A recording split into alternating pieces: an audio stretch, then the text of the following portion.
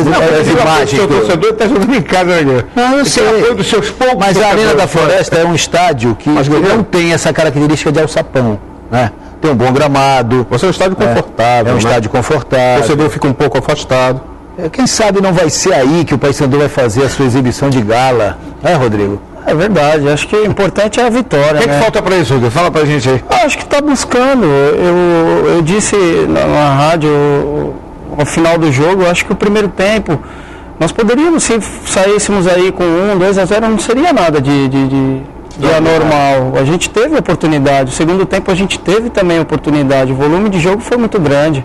Eu acho que isso que tem que ser. Se, se nós não, não estivéssemos criando, aí, aí acho que a gente tinha que preocupar, se preocupar. Mas o time está criando, né? Infelizmente ela não está entrando, mas estão saindo as jogadas. É, hoje hoje o, o, Roberto, ao fazer a, a, leitura do jogo no final pela Rádio Clube, ele falou da, da situação do Luciano Henrique. Né? Falou dos três gols que o Paysandu perdeu no primeiro tempo. O, o, o, lance, o mais capital de todos, que foi o do Rafael, é, depois houve um do José que ele perdeu o tempo da bola. E houve o do Luciano, aquela bola que sobrou para ele. Tudo lance direto de gol. Direto, e ele pegou errado na bola, né? Ele, o, o, técnico disse que o Luciano sentiu muito a perda daquele gol.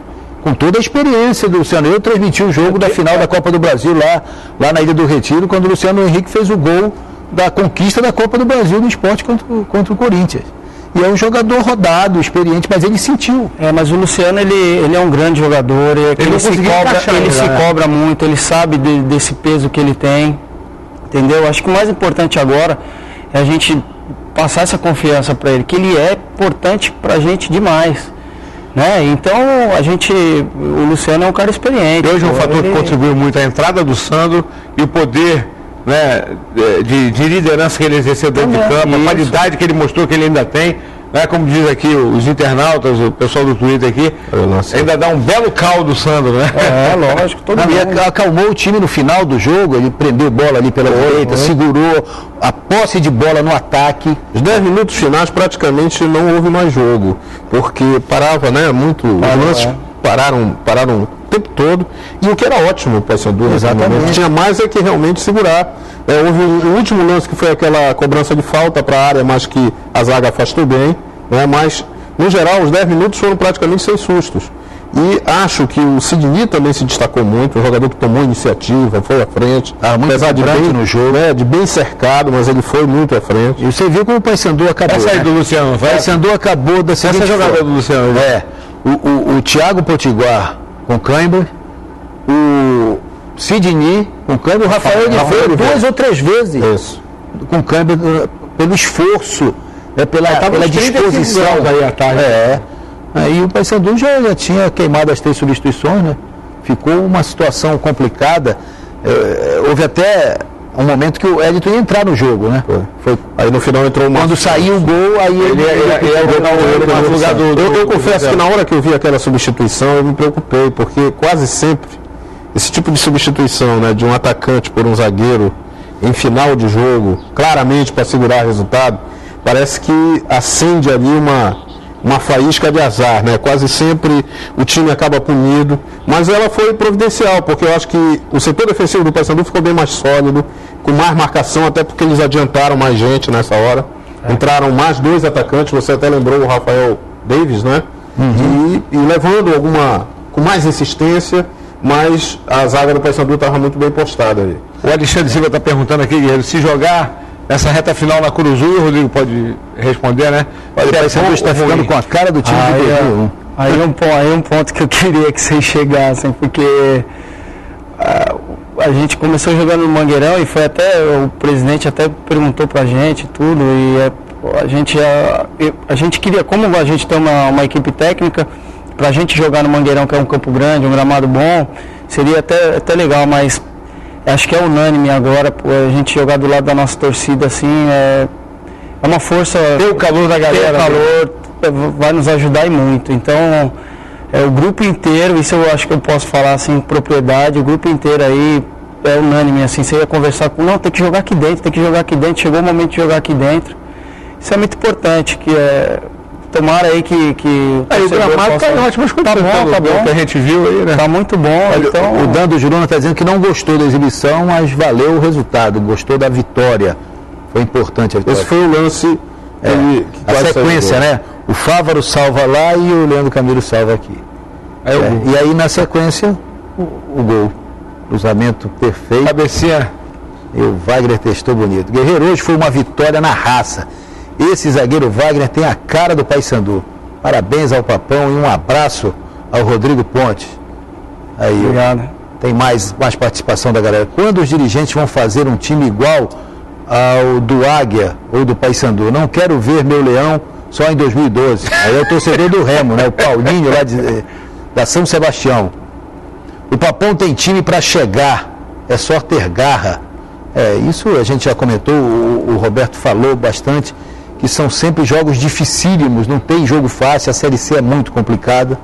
E o Paysandu vai passar por, por essa provação todo jogo. Não tem nada a se considerar. Nem mesmo Araguaína na última rodada a gente já falou. Verdade. Não, acho, a gente já está bem preparado para isso. Saber que não vai, não vai ter moleza não. Vamos ver outros momentos de alegria para o futebol paraense? Vamos conferir a Série D do Campeonato Brasileiro aqui na Super Tela.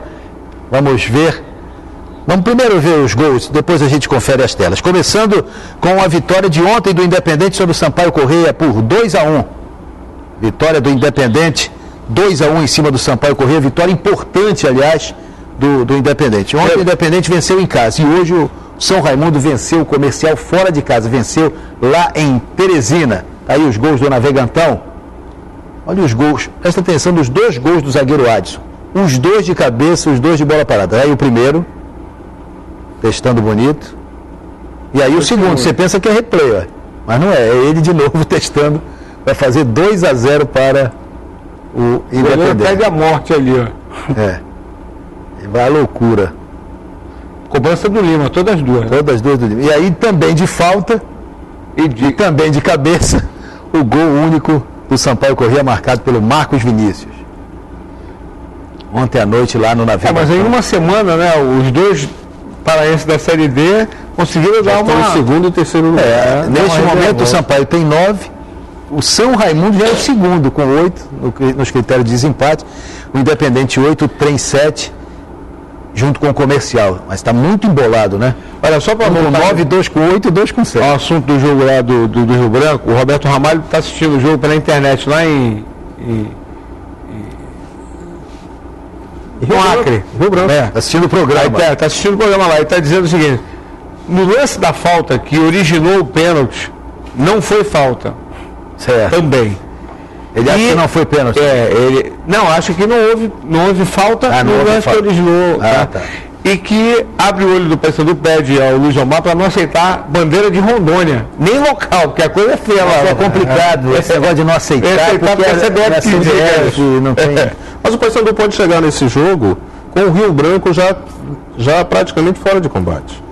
Ah, não tanto, porque não, o Rio Branco. Ele, ele, ele tá com 7, né, o Rio Branco? Não, com 10 agora. Com 10, é, não, tá com 10. É, neste momento, Paysandu 11, Rio Branco, Águia e Rio Branco com 10. Então, o Rio Branco, vamos, vamos considerar, ele seguir na, na, na, lógica, é, seguir na, na lógica da, das vitórias dos mandantes. O Rio Branco, mesmo perdendo, continua com 10, o Luverdense vai a 10. Paysandu folga, fica com 11. É, não, vai então, ter. Complica. Vai ser sufoco do mesmo jeito. Mas vamos Olha... continuar falando da Série D aqui para a gente mostrar agora a vitória espetacular na estreia do Lúcio Santarém do São Raimundo. 3 a 0 para a equipe do São Raimundo em cima do comercial. Lembrando aí os resultados desta sétima rodada. Ontem o Independente venceu o Sampaio por 2 a 1 Classificação: o Sampaio tem 9, São Raimundo 8, Independente 8, Trem 7, Comercial 7. Então, neste momento, o Sampaio o primeiro, São Raimundo o segundo. São Raimundo ia enfrentar enfrentaria no mata-mata da segunda fase, neste momento, o Penharol lá do Amazonas. Vamos lá agora para os próximos jogos. Domingo tem Sampaio Comercial no Neuzinho dos Santos às quatro da tarde. E na segunda-feira, dia 5, o São Raimundo recebe o trem lá no Barbalhão às 20 horas em Santarém. E agora vamos falar desta vitória do São Raimundo, vitória importantíssima dentro do Alberto Silva, 3 a 0 para o São Raimundo. Vamos ver o jogo. Seu Ninga, né? é, ninguém. Aí o primeiro gol do São Raimundo, Sató. Sató. limpou e bateu cruzado. Era do Paysandu esse saltou, viu, Rodrigo? É. Ah, é? Aí o gol do Velber. Olha a arrancada do Velber. Foi levando. Belo gol, hein? É. é. Aí o gol do Velber, ex-Paysandu também. Aí o Velber. O não, Velber é, em São Paulo. Não. É. é. E aí o gol marcado pelo Aldivan. Ex-Paysandu também. Também, fazendo 3 a 0 para a equipe do São Raimundo. Que vitória, hein? Bela vitória da equipe do São Raimundo. Placar construído no primeiro tempo. São Raimundo volta para a briga. Vocês aí imaginavam, vocês estão aí nesse converscote, imaginavam não, esta, ali, é esta vitória. Era o gol do Velber o gol ali, eu tô achando que não é o Velber. É. Não, mas eu acho que é assim. O Velber não tem aquele cabelo e não é. Não está tão é, Mas o Santos assim. também não tinha esse cabelo. Não, não, mas é. Olha, isso aí, a gente vai rever o lance, eu vou falar.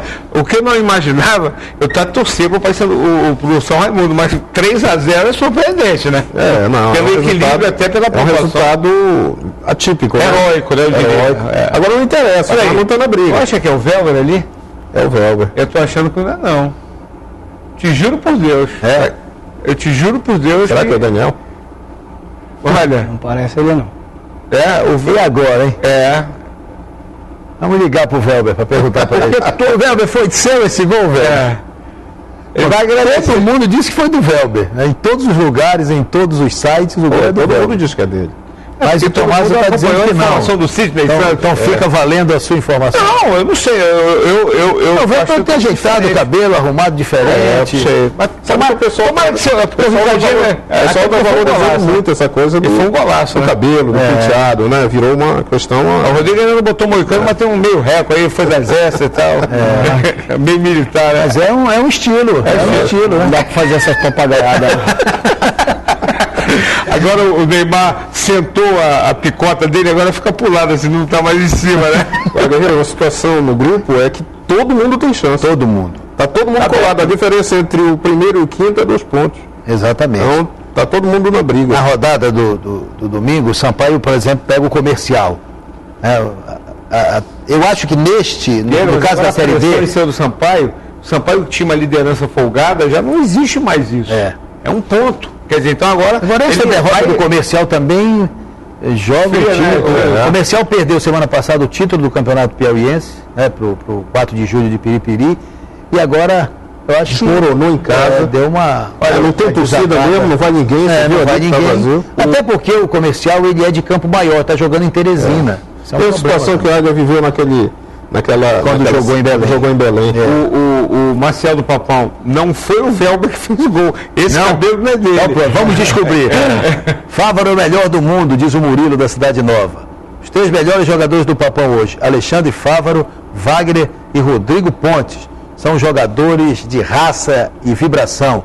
É o Pepe, do Pedro Teixeira. Eu incluiria o Sandro aí também, né? Eu incluiria o Rafael também. Rafael Oliveira, pela vibração durante o jogo inteiro. Muito bem. Tomazão, vamos para o sorteio. Você já antecipou o premiado. Agora, agora vale o Pedrinho. O Serpa Leão. O Serpa Leão. Mas tem, tem o. Vamos sortear depois. Serpa, ah, é? é ah, Serpa Leão, agora é o Pedrinho. Então, Pedrinho é o Pedrinho. Pedrinho Muito é bem. Serpa Leão. Já já, para falar em Leão, a gente vai falar do Remy e vai falar também da segundinha do Campeonato Paraense, a segunda divisão, já já para você. Beleza.